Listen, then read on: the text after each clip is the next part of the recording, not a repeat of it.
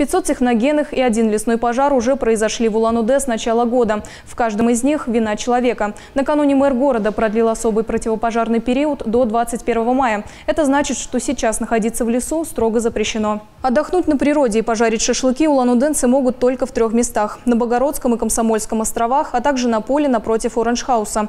Прежде чем разводить огонь, нужно убрать сухую траву вокруг мангала, а также запастись 20 литрами воды и огнетушителем на случай пожара.